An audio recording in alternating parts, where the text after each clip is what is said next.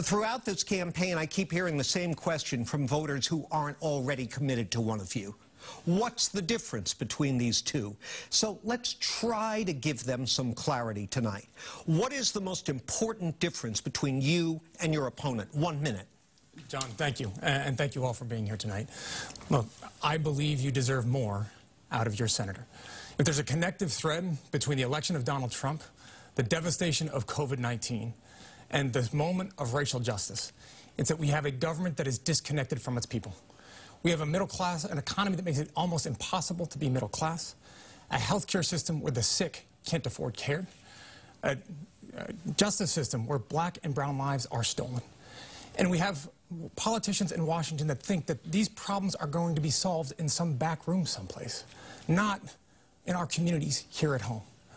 And that's why I'm running.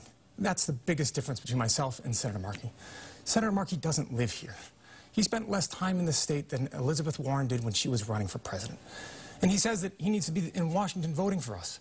But he missed over 50% of the votes in this critical time of COVID-19, a public health and economic catastrophe. Oh. We need more out of this seat. Okay. And if elected, I'll give it to you. Time? Same question, Senator Markey. Uh, thank you, John. Congressman Kennedy. I- know that so many of the voters are sitting at home right now with a ballot to decide who to vote for. I know many are considering me because of my proven leadership and experience. And I know that many are looking at Congressman Kennedy uh, through all of his negative ads that he's been running on television. Um, he keeps using the word change. Well, the people in Massachusetts don't need to make a choice because I represent experience and change at the same time. I do both. I am inspiring a generation of young people to rise up on the Green New Deal and other issues to get into politics in our country. Congressman Kennedy, when he uses the word change, he means something different. He's changed his position on Medicare for all. He's changed his position on PROMESA, which is hollowing out Puerto Rico. He's changed his position uh, on the issue uh, of uh, super PACs. He's changed his position on the racist fraternity. That's his own words that he ha- was in for 20 years and he only Okay. uh, left that fraternity at, at one month before this campaign You can- and, it's a, and, and it is a fraternity inspired by Robert E. Lee. You can expand on this changing during the open rebuttal. Let's, let's go to our open So- rebuttal. Go ahead. So, uh, Senator, uh, you've known me my whole life.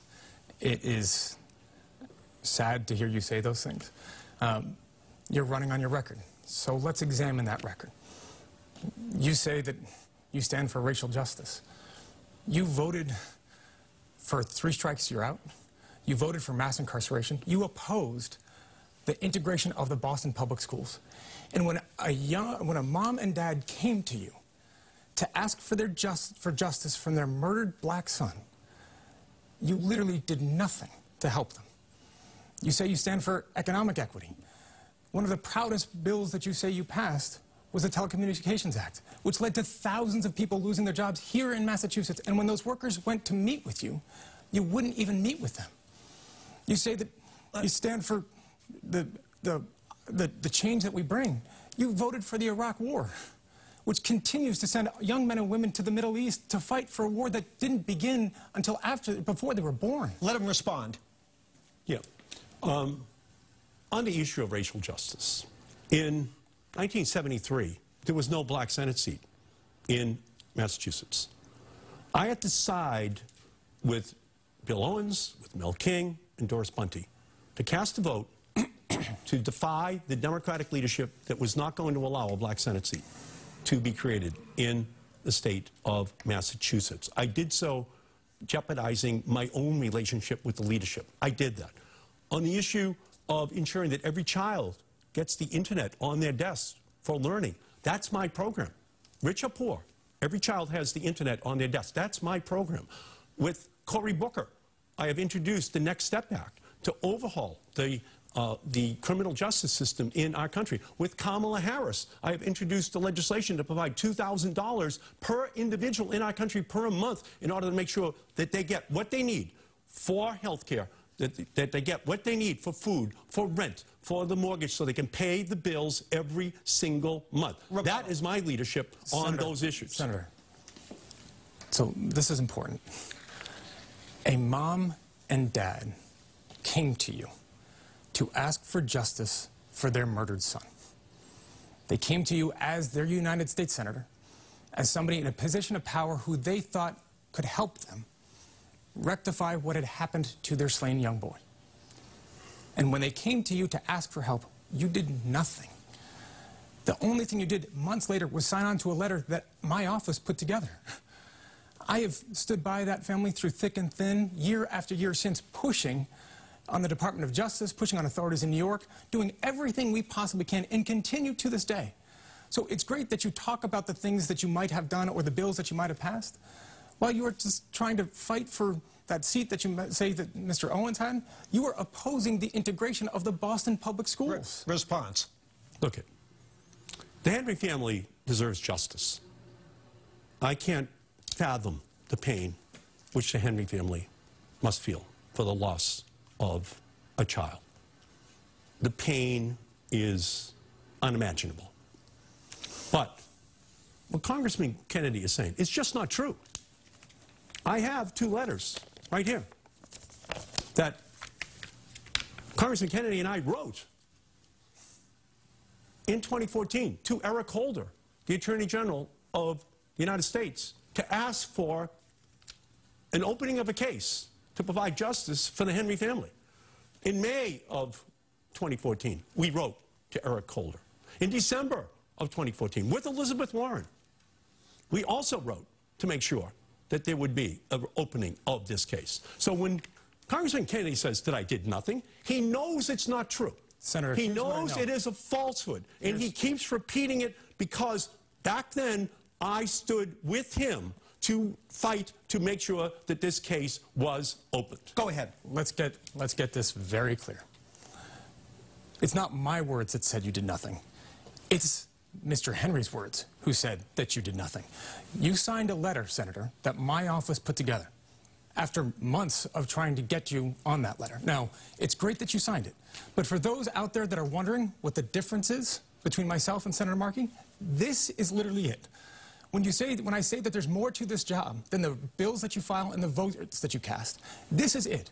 Because I pushed on the Obama administration. I pushed on the authorities in New York. I pushed on them in, in Washington, D.C. We filed legislation. I've met with, I met repeatedly with the family.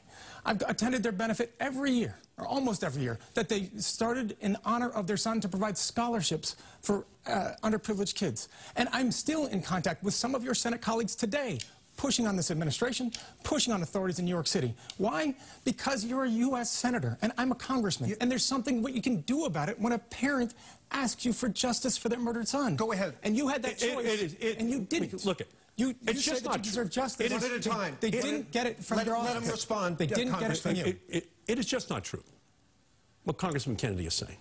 I have a letter here with his signature next to mine. Not on one letter, two letters, right next to each other, our names, asking Eric Holder of the Justice Department to open an investigation. So when he says, I did nothing, he knows it's not true. He knows it's a falsehood. He keeps making a false accusation that I did nothing. And he keeps repeating it, knowing that that is completely and totally not true. And so the evidence is right here. The letters are right here. And we acted together as partners. And that was right, that we should do so. But to say I did not partner with him is just absolutely untrue. It's a misrepresentation. It is a falsehood. And he should just stop saying it. So we have Every parent out there of a child, if you believe, if your son was murdered, your young boy was murdered by a police officer, and you came to a United States Senator and you asked for their help, and the response that you got was months later to sign a letter. I ask you if you think that that is sufficient. I don't. Apparently, Senator Markey does. I'll give you the final word It- on this, again, and it- then I want to move on. It is not one letter, it's two letters, and our staffs work together in drafting the, leg- the- drafting the language in those letters. So again, what he's saying is not true. What he's saying is a misrepresentation. And I just absolutely think he should stop it uh, because otherwise these signatures of myself, and him and Elizabeth Warren on these letters uh, is absolutely something point. that I- I he is disrespecting in terms of the partnership we created to help to get justice I- for the Henry family. Last point. I want to move on, but super Okay, fast, Last please. point. It's not my criticism, Senator, that you should be concerned about. Those words that they're saying you did nothing aren't mine. They're DJ's father. Equal- they're equal- coming from the family. That's the issue, Equal not time. with me. Equal time. Well, again, Congressman Kennedy is making these charges right now. Okay. And it's not true. He knows it's not true, and he should not be making the charges. All he right. knows better. All right.